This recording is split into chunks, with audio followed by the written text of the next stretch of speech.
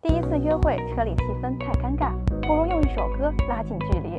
本车的音响系统可以让您随时转换驾驶心情。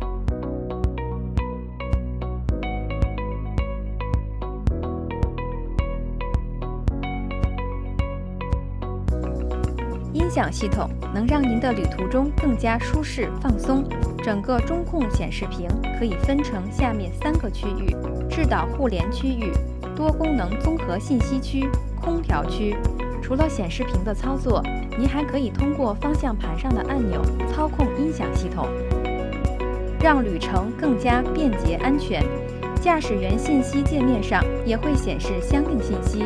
当您要选择音响模式时，按下主页按钮，滚动选择仪表上的音响图标。车内的 USB 端口提供播放音频、兼容设备连接、充电等功能。我们在前面板配备了如下 USB 端口，在扶手箱背面配备了如下 USB 端口。标记为闪电符号的端口，只能用来为设备充电，不能播放音乐哦。前面板的此处 USB 端口，除了播放音乐、充电等功能，还可以连接百度 CarLife。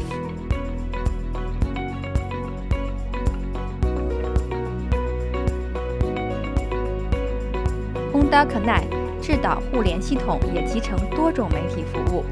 利用语音助手可以播放您想听的音频或音乐，也可以根据您的喜好使用 QQ 音乐、云听、喜马拉雅等增值服务。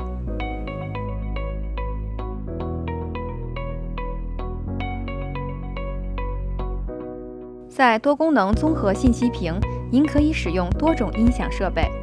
连接蓝牙后，可以使用音响系统聆听手机上的蓝牙音乐。连入 U 盘可以播放里面的音乐文件。在您的智能手机上已安装百度 CarLife 应用程序的情况下，通过 USB 端口将手机连接至系统，可进行拨打电话、聆听音乐、查看地图等操作。